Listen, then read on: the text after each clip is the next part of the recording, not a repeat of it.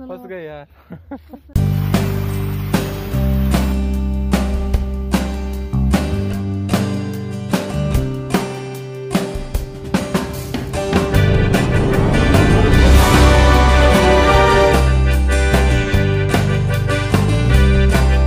और दोस्तों ये है नाथ द्वारा।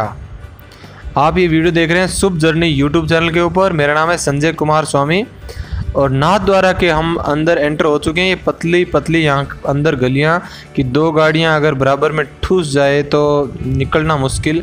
लेकिन पूरे शहर में नहीं है। ये कुछ जगहों पर मंदिर के आसपास के एरिया के अंदर ही है। और यहाँ पर हम पहुँचे। यहाँ पर ये बहुत बड़ी धर्मशाला है एक। ये मंदिर के एकदम पास में ही है। और इस धर्मशाला का नाम है विठल धर्मशाला, इस तरह से है। और बहुत ही बड़ा परिसर। इसके अंदर कपड़े सुखा रहे हैं अभी। तो यात्रा के दौरान चलते चलते जो है वो कहीं कहीं पर अच्छी खुली जगह मिल जाती है तो कपड़े भी सुखा देते हैं। और ये रेट है भाई 200 300 450 500 अलग अलग कमरों की एसी नॉन एसी यहाँ पर शुरू से लेके आखिर तक अलग अलग रेट के खूब सारे कमरे हैं। और ये देखिए, गाड़ी खड़ी है। पार्किंग यहीं पर बाहर ही है, अंदर कोई पार्किंग यहाँ पर व्यवस्था नहीं है। और ये बहुत ही खूबसूरत दृश्य है। ये मंदिर के अंदर से ही एक आ, मतलब धर्मशाला के अंदर से ही मंदिर जाने का रास्ता है। एकदम पतला सा। और ये है जय श्री कृष्णा। मंदिर श्रीनाथ जी का। अंदर खूब सारे लोग आ रहे हैं लेकिन अंदर जो फ़ोटो मोबाइल सब कुछ बाहर जमा करा करके अंदर जाएँगे। तो फ़ोटो वीडियो अंदर का कुछ नहीं लिया फिर मैंने। ये बाहर के मार्केट।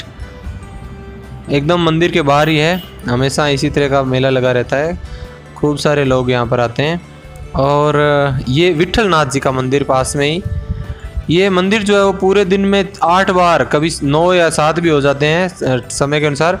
लेकिन ये टाइमिंग मैंने अभी दिखाया, ये टाइम के अनुसार ही यहाँ पर खुलते हैं। पूरे दिन मंदिर के आप दर्शन नहीं कर सकते तो इसलिए टाइम के हिसाब से ही होंगे, ऋतु के हिसाब से वो चेंज भी हो सकता है। एक यहाँ पर गिरिराज पर्वत है, उसकी परिक्रमा करने भी काफ़ी लोग जाते हैं।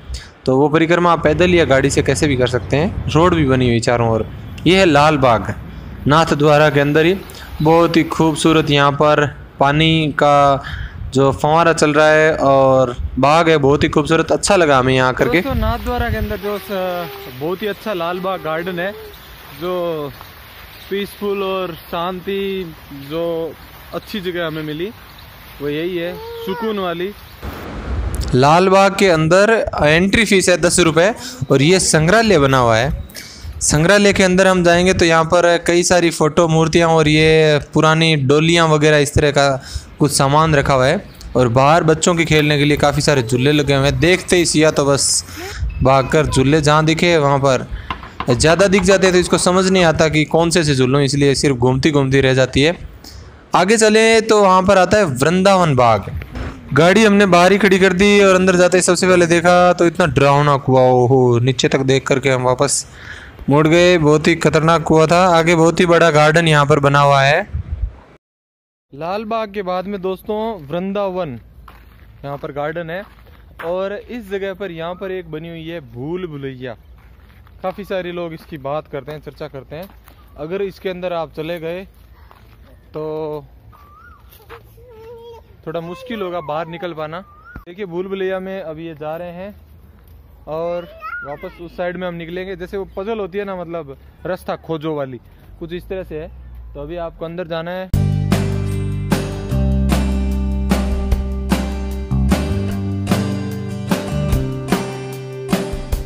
देखिए, एक रास्ता ये पीछे की साइड में जा रहा है और एक रास्ता यहाँ से जा रहा है। तो यही है भूल भुलैया का खेल।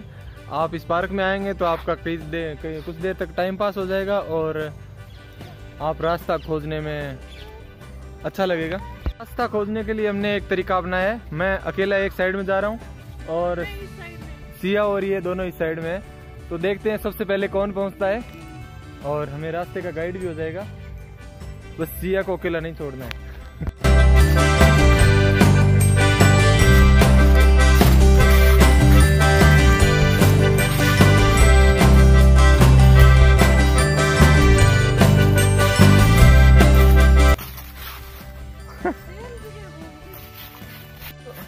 तो दोस्तों, यहाँ पर हमने दो अलग अलग रास्ते लिए और सेम जगह पर आ गए। अब एक रास्ता आगे जा रहा है। इसका मतलब हम एक के आगे फिर दो हो गए। एक आकर के फिर दो हो गए। इस बार फिर दोनों एक एक लेते हैं। क्या होता है, देखते हैं। दूसरी साइड से जा रहा हूँ। वो फिर से दूसरी साइड में जा रहे हैं। और खेल खेलते हैं। भूल भुलैया का। ये बीच में आ गए। यहाँ पर एक बीच में पेड़ है। मुझे नहीं लगता इस साइड में रास्ता होगा। लेकिन शायद मिल सकते हैं। वो और हम एक ही साइड में मिल सकते हैं देखिए। एक रास्ता जा रहा है यहाँ पर।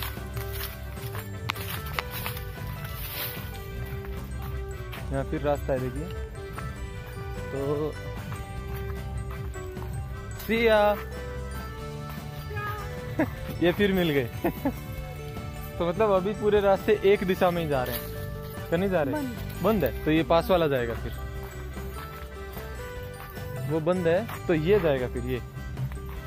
या फिर ये जाएगा देखते हैं। ये नहीं जाएगा ये बंद है। तो दोस्तों अभी देखिए बचा कौन सा? ये रास्ता। इस रास्ते चलते हैं।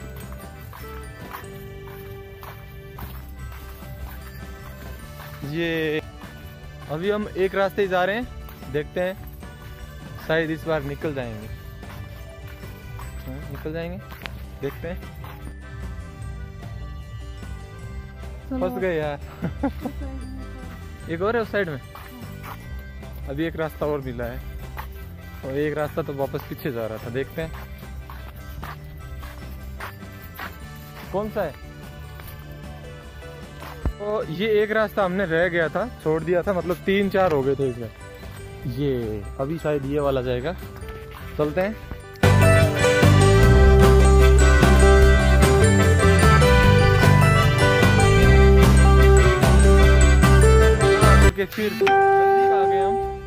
रास्ता है, एक ये रास्ता है। चलिए पहले इस रास्ते चलते हैं। और ये बाहर। बहुत मुश्किल नहीं है, आसान है। और ये हम बाहर आ गए। ये भूल भुलैया को हमने मुश्किल से चार पाँच, मुश्किल से चार पाँच मिनट लगी होगी। पाँच मिनट लगी होगी। पार कर लिया। ऐसी एक दूसरी बुलबुलिया भी है। ये वाली हमने पार कर दी। एक ऐसी साइड में और है। तो इसके अंदर भी आप ये खेल खेल सकते हैं। तो ये अच्छा लगा। यहाँ पर कोई बता रहे थे कि ये साठ बीघा ज़मीन है, जहाँ पर फूल वगैरह भी लगते हैं। यहाँ तो नहीं दिख रहे, शायद उधर दूर होंगे कहीं। और ये श्रीनाथ जी के फ्लावर्स जो है यहाँ से जाते हैं पूजा के लिए। तो ये वृंदावन गार्डन एक लाल बाग हो गया, एक परिक्रमा हो गई, और एक श्रीनाथ जी का मंदिर, एक विठल जी का मंदिर, और एक जो मूर्ति बन रही है। वो बाकी रह गई हमें पहले दिखाई नहीं दे रही थी, अभी उसको देखेंगे। और नाथ द्वारा कंप्लीट। तो दोस्तों, यहाँ पर कई सारे तूफ़ान से जो है वो आम यहाँ पर, पेड़ से गिर गए थे। कल परसों वो वीडियो मैंने बनाया था, तूफ़ान आया था ना? तो उस तूफ़ान के अंदर तो हमने क्या किया कच्चे कच्चे आम और केरियाँ यहाँ पर खूब सारी इकट्ठी कर ली, सिया ने। इनको कच्चे आम की वैसे सब्ज़ी तो बनती है आप सेंधा नमक मिला करके अगर खाएँगे, काला नमक भी, या जलजीरा बहुत अच्छी स्वाद लगेगी। और दोस्तों, यहाँ पर ये बहुत ही प्राचीन कुआँ है।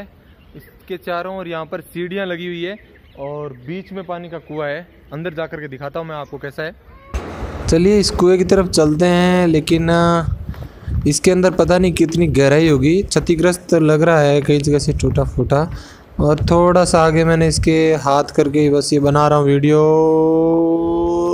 काफ़ी नहीं है, गहराई तो कम ही है, लेकिन अंदर इस तरह से खड्डे की तरह लग रहा है।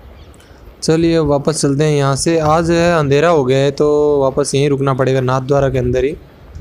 एक रात और रुक जाते हैं, वीडियो एडिट करना भी बाकी था, हल्दी घाटी वाला।